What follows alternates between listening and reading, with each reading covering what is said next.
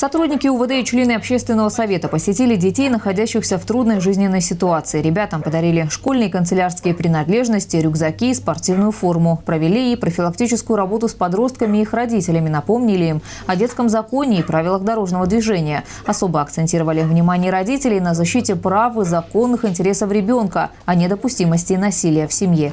Подобные встречи с семьями, оказавшимися в трудной жизненной ситуации, пройдут во всех районах города.